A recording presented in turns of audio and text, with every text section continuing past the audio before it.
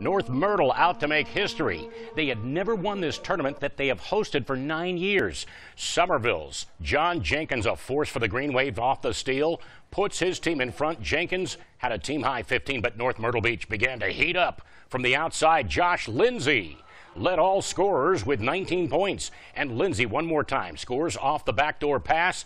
His little brother, Matt Lindsay, also gets in on the act with a corner three. North Myrtle Beach wins the shootout by the sea for the first time ever. 56-49 winners over Summerville. In the girls' championship game of shootout by the sea, North Myrtle Beach facing Goose Creek. The Lady Chiefs get it ahead to Taylor Allman. Count this one and one. Game tied 26 all. Allman led North Myrtle Beach with 17 points later. It's Taylor White hits the short baseline J. You can bet Dad got that one in the scorebook. Her father is scorekeeper Wayne White. Goose Creek trailed by three in the final minute, but check out Ashley Fields. Scores two of her game high 23 points.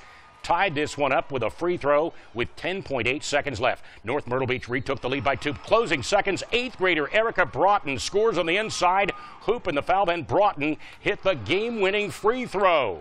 Goose Creek hangs on to beat North Myrtle Beach. 44 to 43 the final.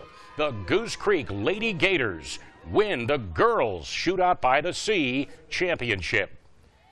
At the girls' holiday invitational, Archbishop Carroll out of Pennsylvania rallied from a huge deficit to beat Kings Fork from Virginia. Sarah Curran, nice backdoor bucket, and then Jess Carney hot from the outside.